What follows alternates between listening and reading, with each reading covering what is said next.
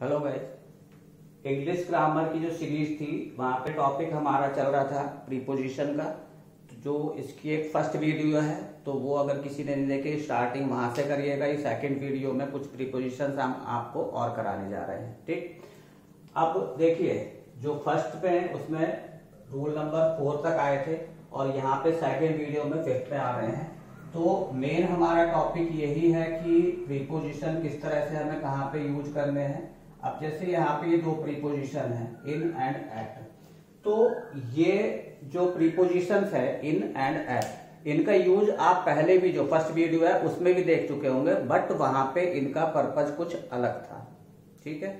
इनका सेंस कुछ अलग था मीनिंग अलग था। अब यहाँ पे आप देखोगे तो यहाँ पे इनका इन और एट इसका जो यूज़ करना है हमें तो ये होता है बिफोर प्लेसेस प्लेस से पहले इन और एट का यूज़ करते हैं।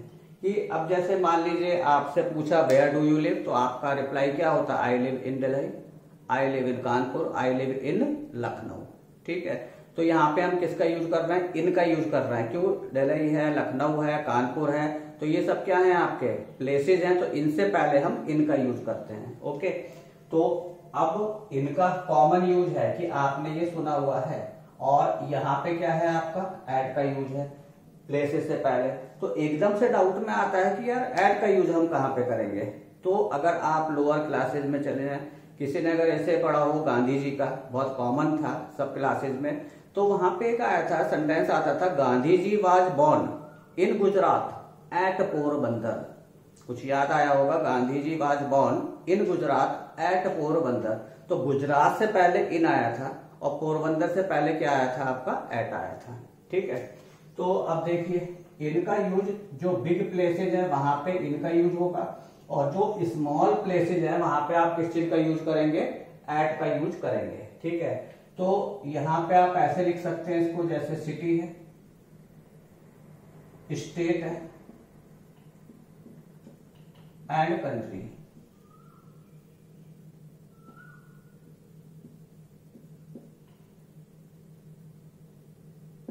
यहाँ पे आप इसका यूज़ करेंगे। और अब आ जाइए एट का। तो एट का यूज़ कहाँ पे करेंगे आप? विलेज में कर सकते हैं। ठीक है टाउन में कर सकते हैं। एंड कॉलोनीज है आपकी। कॉलोनी से मतलब है लोकलिटी है। जैसे यहाँ पे फिर से आप सुनिए, Gandhi ji was born in Gujarat at Porbandar तो इन और एट का यूज़ एक साथ में आ गया था, ठीक है? जब दो प्लेसेज होंगे तो वहाँ पे आपको इन और एट मतलब बिग और स्मॉल प्लेसेज में क्या करना है? क्लासिफाई कर लेना है तो आपका क्या होगा? इन और एट का यूज़ आ जाएगा, ठीक है? अब सिंगल प्लेस की बात होती है। अब जैसे सपोज़ है, एक और एग्ज़ाम्पल सुनिए। जैसे हम है, लखनऊ में है तो हम क्या बताएँगे कि लखनऊ में है, विकास नगर में है, गोमती नगर में है, ठीक है? तो क्या होगा? I live in Lucknow at Gomti Nagar I live in Lucknow at Indira Nagar I live in Lucknow at Vikas Nagar तो लखनऊ हमारा क्या हो गया? सिटी हो गया। तो सिटी में हमने क्या लगा दिया? इन लगाया है। और विकास नगर लोकलिटी हो गई तो लोकलिटी में हमने क्या लगा दिया? आपका एट लगा दिया। तो इस तरह से आपको यहाँ पे क्या करना है? हमेशा ये देखना है कि हम किसका यूज़ करेंगे।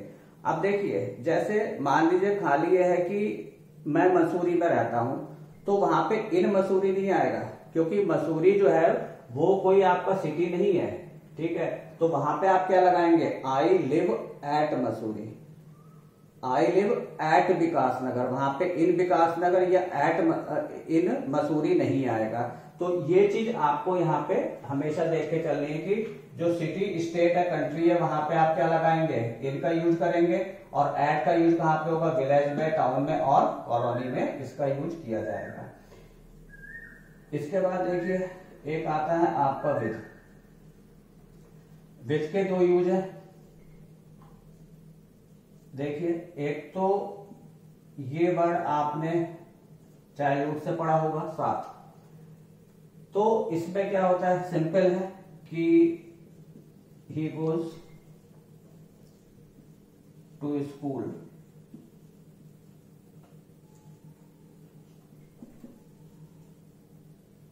With his brother. तो यहाँ पे हमने विध का यूज़ कर दिया, ये कॉमन यूज़ है जो हम शुरू से देखते आ रहे हैं। अब दूसरा यूज़ इसका कहाँ पे होता है?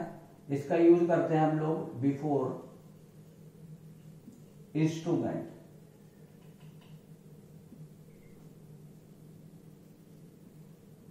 बिफोर इंस्ट्रूमेंट इसका यूज़ किया जाता है। अब बात आती है कि इंस्ट्रूमेंट क्या है।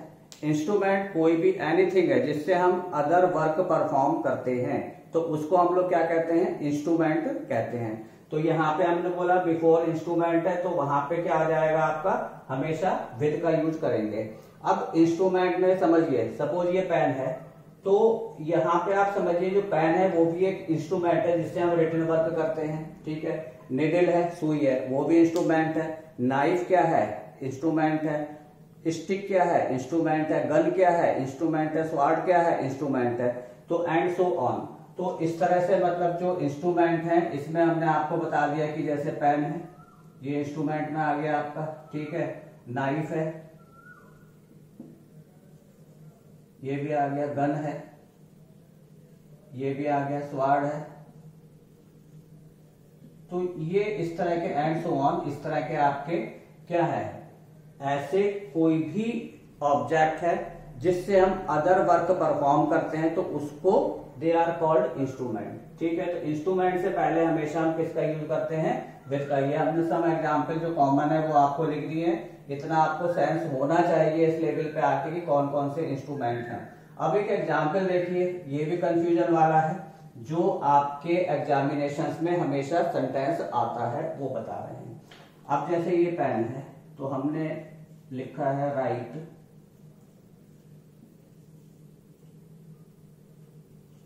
योर रोल नंबर और यहाँ पे लिखा है हमने पेन ठीक है? अब इसी सेंटेंस को देखिए। राइट योर रोल नंबर और यहाँ पे हमने लिख दिया इंक ठीक? अब देखिए ध्यान से कि ये से पेन था। तो पेन में आपको क्लियर है कि यहाँ पे हमने मेंशन भी किया हुआ कि ये इंस्ट्रूमेंट है तो यहाँ पे हम किस चीज़ का यूज़ करेंगे हम? विद का यूज़ कर देंगे। लेकिन यहाँ पे आता है आपका इंक है। तो इंक जो है, वो इंस्ट्रूमेंट नहीं है। तो यहाँ पे तो कोई दिक्कत नहीं है। यहाँ पे आपने क्या फिल कर देंगे? विद कर देंगे। इससे पहले हमेशा यहाँ पे इन आता है। और ये वाला जो आपका सेंटेंस है, ये मोस्ट इंपॉर्टेंट सेंटेंस है। ठीक है? कई जगह एग्जामिनेशन में ये वाला सेंटेंस आपको मिलेगा। इंक लिखा होगा और यहाँ पे आपको क्या फिल करना है? इन इन का आप यहाँ पे यूज़ करेंगे। तो इस तरह से ये डिफरेंस होते हैं। तो दिख रहा होगा आपको कि बहुत छोटे छोटे डिफरेंस हैं। केवल आपको विद और इन इसमें केवल यही तो देखना है तो इंस्ट्रूमेंट होंगे तो वहाँ पे तो हमें विद लगाना ही है, लेकिन ये एक यूनिक सेंटेंस है। इसको जैसे प्रीवियस वीडियो में हमने गुड बताया था कि गुड के साथ में एड का यूज़ होता है तो वो वाला एक यूनिक सेंटेंस था। सेम थिंग हेयर है right your roll number in it ये भी एक यूनिक सेंटेंस है। तो यूनिक इसलिए करवाते जा रहे हैं कि एग्जामिनेशन में ये आपको हमेशा मिलेंगे सेंटेंस ओके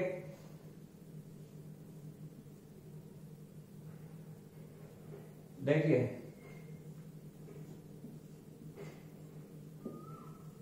बिसाइड्स एक है बिसाइड और एक होता है नियर ठीक? इसमें देखिए कि ये वाला जो एक वर्ड हमने यहाँ पे दिया हुआ है, ठीक है? ये वर्ड से इस वर्ड का कोई भी लिंक नहीं है। ये अलग है और ये बिल्कुल अलग है। स्पेलिंग देखने पे आपको लग रहा है कि ये बिसाइड है ये बिसाइड है, केवल एस या ई e का डिफरेंस है एस का डिफरेंस है और कोई नहीं तो सिंगुलर प्लूरल तो ये हो ही नहीं सकते क्योंकि ये प्रीपोजिशन है। ठीक है? ये एक अलग वर्ड है, इसका मीन्स होता है in addition to in addition to ये दोनों जो वर्ड हैं, ये सेम है। ये है बिसाइड और ये है नियर तो नियर आपने पढ़ा हुआ है बट ये भी आपको पता है कि डिसाइड है और ये भी पता है नियर नियर मीन्स क्या होता है? पास, निकट, बहुत ही हमारे पास में है. लेकिन इसमें और इसमें डिफरेंस क्या है? ये नो डिस्टेंस है ये.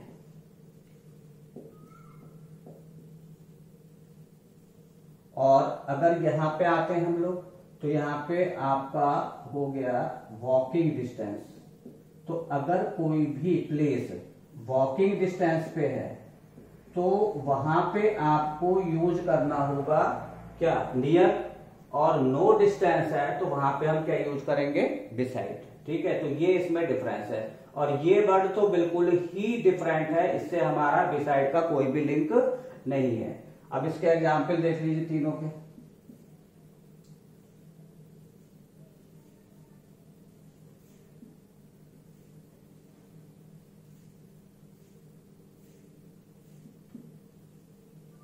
Besides a pen I want a book.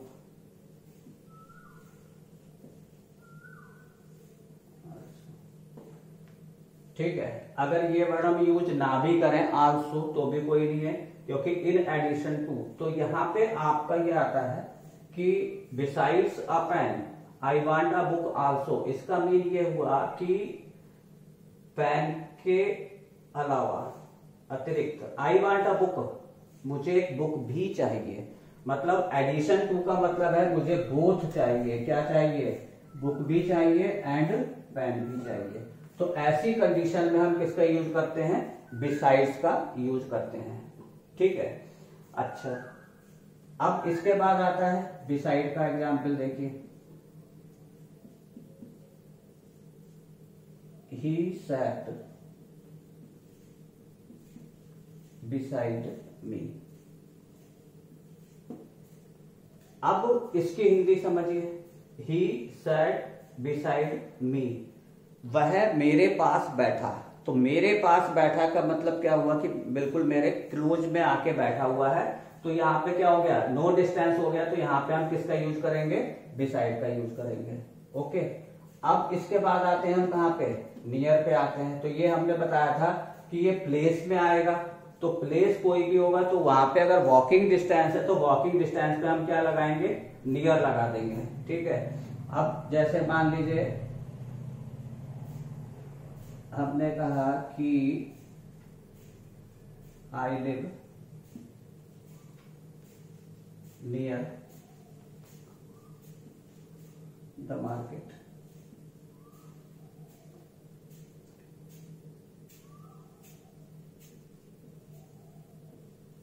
ठीक है? मैं मार्केट के पास रहता हूँ तो यहाँ पे पास का मतलब है कि मार्केट और मेरा जो रेजिडेंस है उसमें एक वॉकिंग डिस्टेंस है। कि वॉकिंग डिस्टेंस पे मेरा घर है वहाँ पे हम इजीली आ सकते हैं। तो ये तीनों में डिफरेंस है ये बिल्कुल डिफरेंट वर्ड हो गया ठीक है? और ये वाला क्या हो गया? नो डिस्टेंस है कोई चीज़ बिल्कुल वेरी क्लोज में है तो वहाँ पे हम लोग क्या कर देंगे? डिसाइड अब जैसे ये है कि her room is beside the kitchen her room is beside the kitchen तो इसका मतलब क्या है कि उसका रूम किचन के पास है। तो पास यहाँ पे क्या हो गया? बिल्कुल क्लोज है। रूम और किचन एक साथ ही लगे हुए दोनों का जो वॉल है, वो क्या हो गई? सेम हो गए her room is beside the kitchen and ये हो गया I live near the market ठीक है I live near सैनाई guest house I live near K K palace तो यहाँ पे क्या हो गया? तो वॉकिंग डिस्टेंस पे तो वहाँ हम किसका यूज़ करेंगे? नियर का यूज़ करेंगे। तो इस तरह से आपको फिर से हम बता रहे हैं कि आपको क्या करना है कि आप पूरा एक नोट्स बनाइए। फ़र्स्ट वीडियो में भी हमने आपको ये बताया कि नोट्स बनाते जाइए अपने हाथ से, वो ज़्यादा आपको लर्न होता चला जाएगा और डेली इसकी प्रैक्टिस करेंगे। एक दो बार में ही सारे प्रिपोजिशन माइंड में अपने आप सेट हो जाएँगे। And pause the video and note it down okay